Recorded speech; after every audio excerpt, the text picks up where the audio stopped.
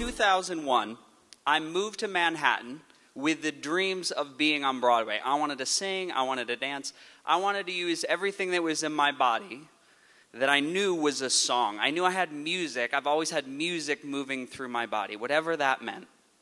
And I set my bags down 2001, right after September 11th. The city was still smoldering, and I went to an audition my very first day. And I booked it.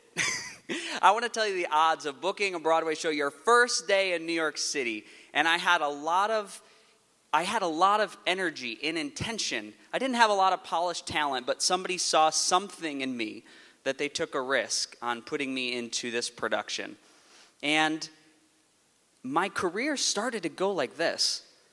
It was national tour and I got my union card and bigger jobs and better contracts, and I got a great agent, and I started to do TV and film, and it was incredible.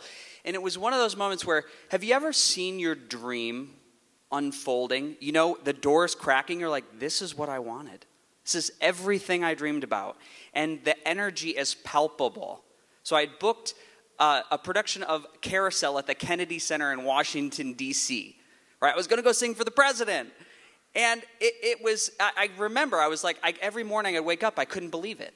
Now, around the same time, I started to have this weird pain in my abdomen. Specifically, I started to have pain in my left testicle. Yes, it's 9 a.m., we're going to say the word testicle.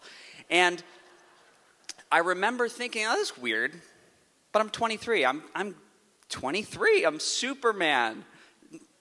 So I left it.